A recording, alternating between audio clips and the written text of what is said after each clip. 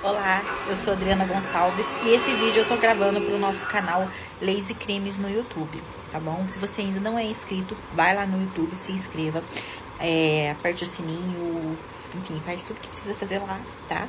É, a gente tem bastante história lá, a gente conta histórias de crimes que aconteceram, tá?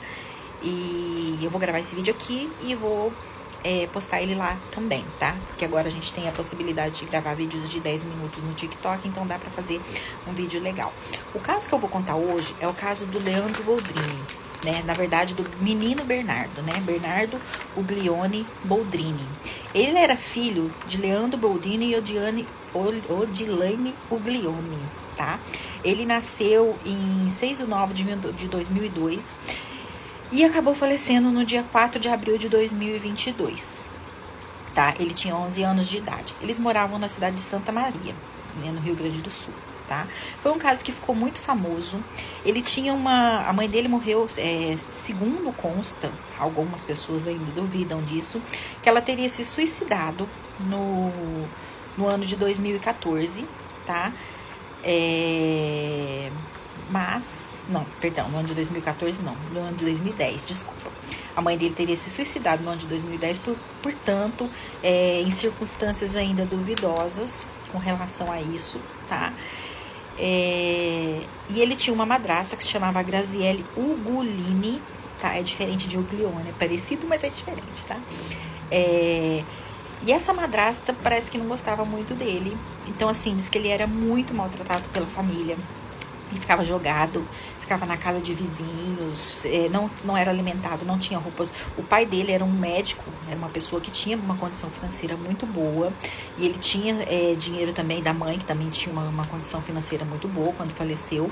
Então ele, os avós maternos, né, da mãe dele queriam ter ficado com ele, mas o pai não deixou por conta dessa herança da mãe, tudo por conta de dinheiro. Mas a criança era totalmente é, deixada de lado. Aí não compravam roupa para criança, não davam comida para ela. É, ela vivia na casa dos outros pedindo comida, ela vivia na casa dos outros pedindo. Ele chegou a pedir ajuda pro promotor, explicando que não tinha condições de viver com o pai e com a madrastra, madrasta, porque ele sofria muitos tipos de abuso, de violência com eles. Então, assim, foi uma criança que pediu socorro, que tentou, é, de alguma forma, pedir ajuda para a sociedade, mas não foi ouvida, tá? Com aquela história de, ah, é melhor ficar com o pai, ah, é mais saudável para a criança ficar com o pai. Será que sempre é, né? Aí fica uma dúvida. É, no dia 4 de 4 de 2014, a madrasta, é, Graziele Uglione, junto com Edelvânia e Evandro, que é irmão da Edelvânia, é, que eles tem o sobrenome de Viganovic, Viganovic, um nome estranho. É, é, com a ajuda deles, ela deu uma dose muito alta de um remédio chamado midazolam pro Bernardo. O Bernardo entrou em coma e provavelmente morreu da alta dosagem desse remédio. É, o Evandro, que era irmão de, de, de, de Elvânia, ele cavou um buraco raso e enterraram o menino ali.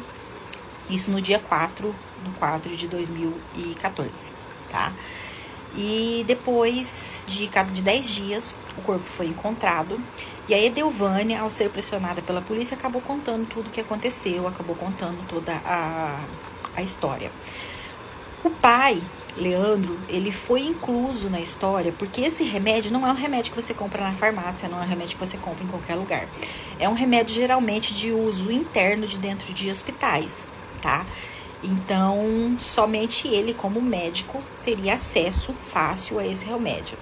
A Graciele, que era a madrasta, ela era enfermeira, então ela também tinha condições de aplicar o remédio e conhecer os efeitos desse remédio, tá?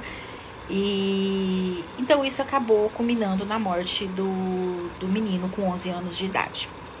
Foi um crime que causou muita repercussão, gerando inclusive a originando por inclusive uma lei, chama Lei 13.010 de 2014, que é chamada Lei Bernardo, que é a lei que é, regula é, de alguma forma a forma como os pais devem disciplinar os seus filhos sem violência, tá?